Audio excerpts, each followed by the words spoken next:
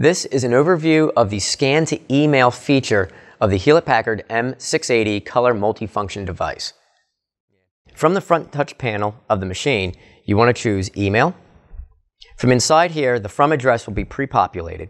You can then choose an address by looking it up based on first name, first initial, then last name. So in this case, as an example, you can see there's a J Doe and J Smith. You can choose the appropriate person, choose OK, you can then choose to carbon copy somebody if you wish.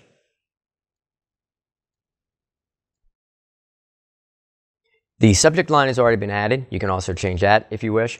The file name will always be by default untitled with a date stamp. You don't see it, but the date stamp goes out afterwards as a year, month, day. You can change that file though and name it whatever you prefer. You also have the ability under more options to choose original side. So if you have a double-sided document, you can scan both sides and send them out in the email. By default, the document file type is PDF.